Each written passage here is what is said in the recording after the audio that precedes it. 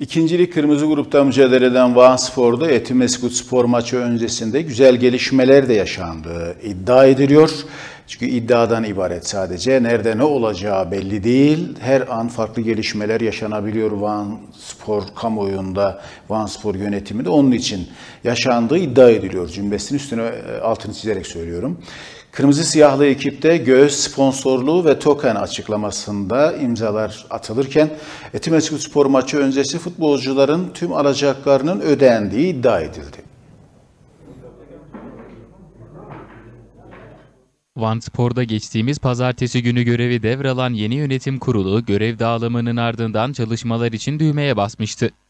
Yapılan yoğun çalışmaların ardından ekipte göğüs sponsorluğu ve token anlaşmasında imzalar atılırken Etimeskut spor maçı öncesi futbolcuların da tüm alacakları ödendi.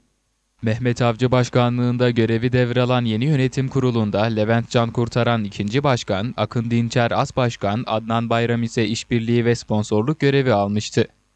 Tüm görev dağılımlarının ardından çalışmalarını ara vermeden başlayan yönetim kurulu kısa sürede önemli işlere imza attı.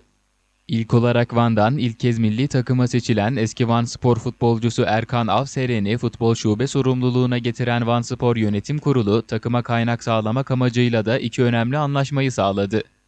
Göğüs sponsorluğu için yeni bir firmayla daha güzel bir anlaşmaya varan kırmızı siyahlı ekip token anlaşmasında da imzaları attı. Takımda bu gelişmeler yaşanırken Etimeskut spor maçı öncesinde de futbolcuların tüm alacaklarının ödendiği öğrenildi. Bu gelişmelerle ilgili olarak Van Spor Yönetim Kurulu tarafından önümüzdeki günlerde kamuoyuna geniş bir açıklamanın yapılacağı bildirildi. Bu gelişmelerle rahat bir nefes alan ve karamsar havayı dağıtan kırmızı siyahlı ekip yarın yeni yönetim kuruluyla ilk maçına çıkacak.